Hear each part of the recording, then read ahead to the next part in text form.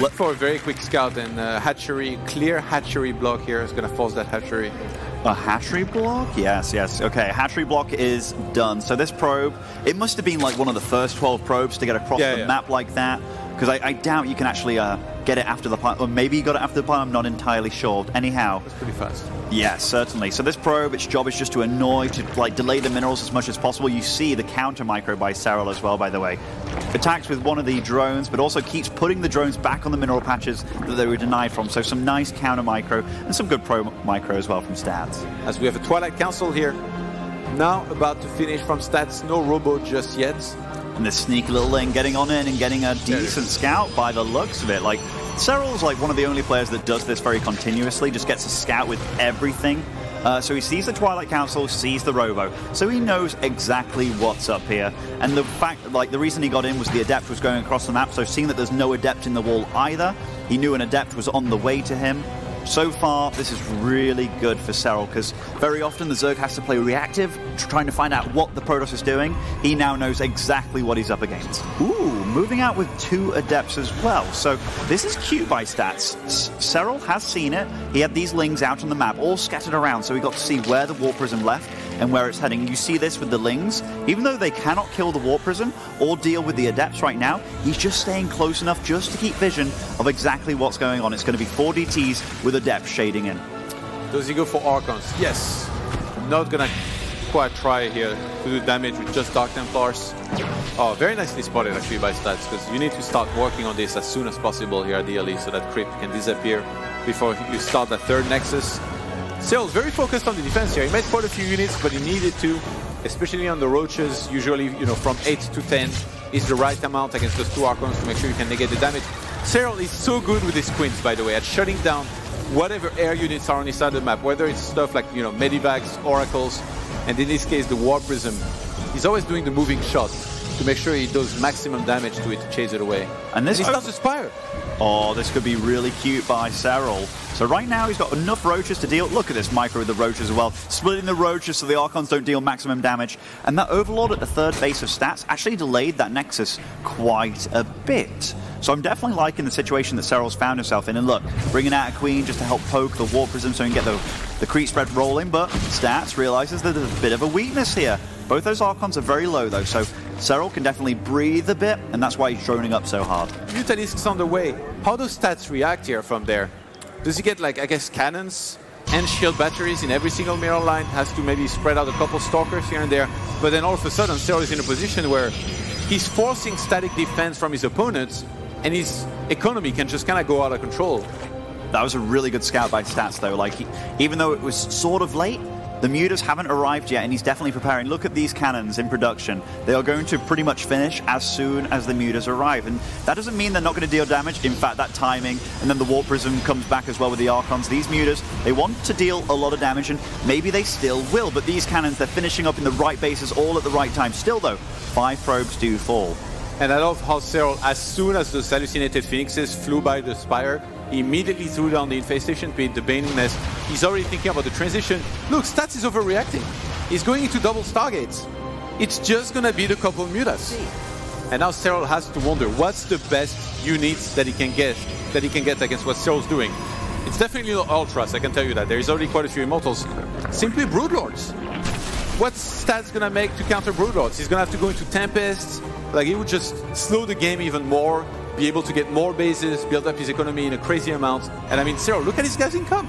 He's got so much gas already. Like it's gonna be so easy for him to go into Broodlords. the two Stargates, what is he gonna really produce? Like he has to get out Tempest really fast. And you might be like, stats, you've got a huge bank, but immediately three Tempests start up here, and one extra Stargate is not producing anything yet. He can afford it certainly. Oh, this is big. Stats is gonna get spotted here entirely by those Mutalisks and the uh, that actually almost can con contaminate, I believe. Pathogen glands already on the way. You know what? Game one, I say Lings don't usually get in, they get in. Game two, I say maybe we're gonna see, or I hope we're gonna see some late game. We're gonna get it. Apparently, whatever we talk about here is happening pretty quickly between these two, and I gotta say I'm pretty happy that we're gonna be seeing a longer game with a lot of infestors and all that because it's going to be completely different than anything else that you will see in the matchup usually, you know, in the mid game. And from the get-go, we're going to find out who's better at this kind of game on many bases with a very big economy. And this might set up the pace for the rest of the series. Oh, that's Oh, a beautiful guy. storm and a nice force field as well to block that from happening. If Stats loses here, he might have to reconsider even allowing the game getting to this stage for the rest of the series, for example, and vice versa. Wow, he's getting really pumped up here. Both have a sick economy. You see the bank of Serral is super spent here, but he's been using the drones to make a lot of static defense. So how Yeah. many spores and spine crawlers does he actually have on the map right now? And kind of interested in that. 14 spines and 15 spores. I'm curious what the double robo is for here. Like once upon a time, when you were facing stuff like Swarm Host or even initially against Broodlords, you would go for Colossus. But I feel like nowadays, if you're facing the super late game Mass Infestor and Broodlords, you would just go for a lot of air, but it starts Disruptor production. Whoa, disruptors. And Blink DT everything. Rotti would be so happy right now. For a long time, he's been talking about the late game Protoss utilizing disruptors to deal with the infestors, the infested Terrans, just to keep them at bay. Right now, this is kind of like a nice little skirmish. Serral, like, he can kind of afford to give up some of these roaches, actually, within regards to the supply. The Banelings can be remaxed on as well. But this is a very, very fortified base. Like, Stats is doing a darn good job of defending with just the right amount of units. Although, if he Zero's bank is not actually that insane right now, but he can definitely max out here after losing this army. Double Prism on the way, Gravitic Drive. How many gateways is uh, Stats on? I 11. So if he actually wants to threaten that main base, you know, with the big Zealot Warpy to try and bring Cell's army out of position while he sieges elsewhere, that's going to be a very big option. I think one thing that's actually caught Serral a bit off guard this game was he was expecting an attack to come way earlier. A lot of Protoss are so scared about the late game that they try and stop it from ever happening. Yeah, even Solar said that Zest played the way he did because he was worried about the late game, and Solar did add that he, he didn't think it was that bad, you know. I'm very curious to see like that disruptor composition in action finally. Oh my gosh, this base is it's got changelings, shield batteries, cannons, you name it. I'm feeling observed. Absolutely.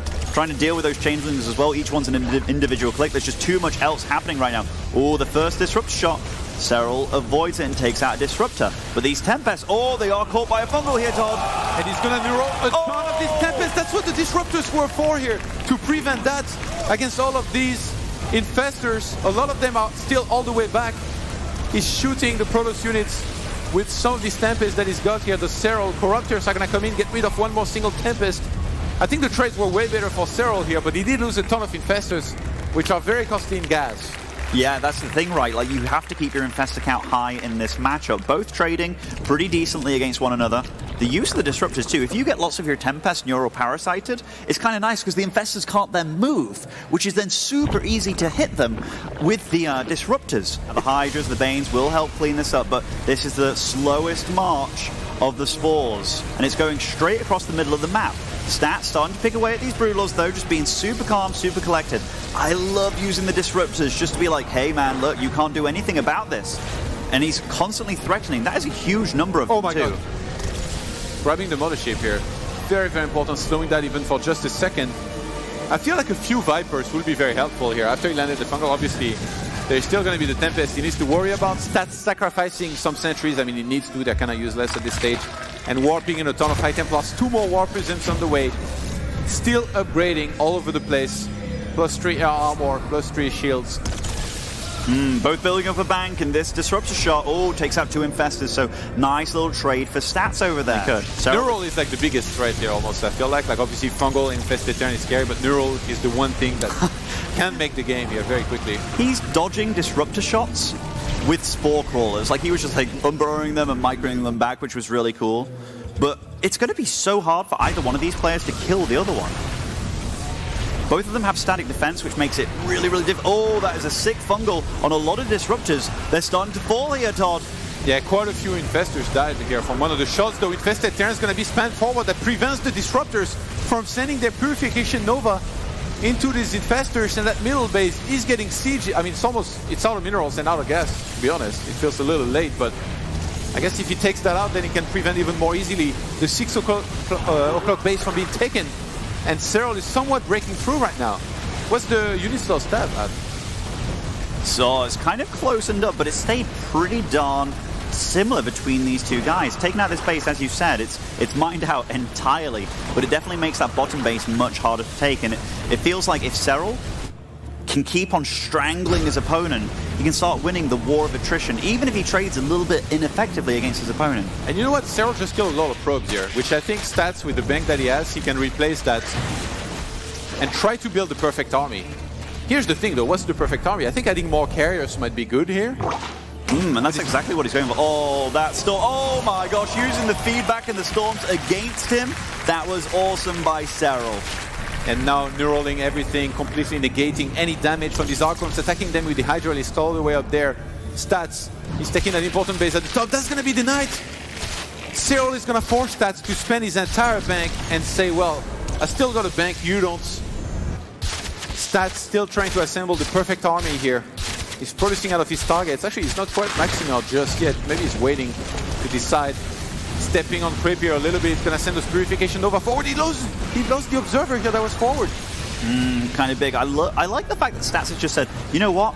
I'm going to establish this bottom base, but that does leave the top base open, which I think Serral is absolutely realized here. Does have a nice army over there, but these Tempests getting some nice shots. Warpins now, because he's freed up the probe supply, are available at the top. He deflects both sides. And again, these Tempests are getting really healthy shots. Just this number of five is enough to one-shot these Broodlords. A lot of Broodlords have fallen this game. Yeah, actually, there was quite a few of them here that died at the bottom and where Serral wasn't paying attention for just a second. The two Mutas still holding strong. This is just crazy, Todd. Like, yeah. the, the patience of both of these guys to get to this kind of situation Stats has definitely gone for like a slightly irregular unit mix. These disruptors, by the way, definitely do good damage yeah. to those infestors. Shut is infested Terrans up as more of them are going to spend. Time Warp gets in the center of everything here. Neural Parasite being used as well. Disruptors kind of clumped in a corner here. Tons of infested Terran are going to land. Fungal on top of a lot of these carriers. Serral, Serral has waited enough. He's going for it. Oh, but he's losing so much supply here, Todd. I think he's got a lot of supply in production, actually. Stats, all the shield batteries are drained, but those disruptors at the back are starting to get their uh, cooldowns back. The carriers are falling one by one, though. There are so many infested Terrans right now. The Corruptors, they're pushing Stats into the corner. Warpins, are they going to be enough to save him? Nice, a big flank with the Zealots as well. They do keep the Infestors back. The Broodlords, though, they're going to be deal be able to deal with these, and Stasha spent so much of his bank just holding on. And keep in mind, that was a fight where there were so many shield batteries here helping out for stats. Serral didn't care. He finally had enough waiting in this game. He's taking the base at the top as well. Why not? Making himself at home on stats side of the map.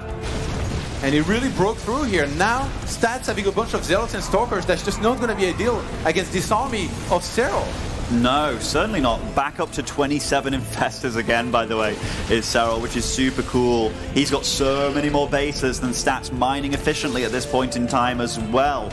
Obviously, his gas bank is similar with uh, Stats, but he can afford to make a lot of extra lings. Look at this huge warping from Stats as well, by the way. I think that's going to be able to take out this base pretty easily. Yeah, but that means he's still spending a lot of Zealots that are not going to be useful other for, than for taking out this base.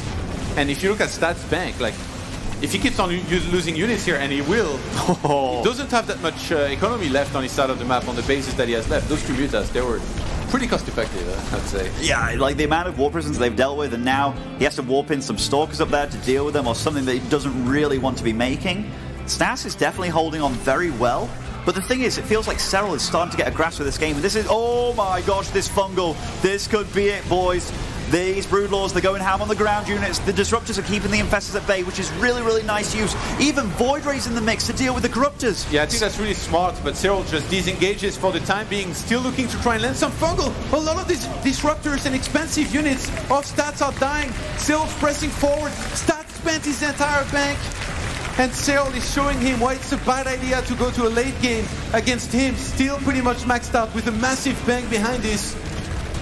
And I can guarantee Stats has never played against a Zerg that has played this good, this patient late game ZVP before. And it is really biting him. 193 supply for Serral against the 140 of Stats.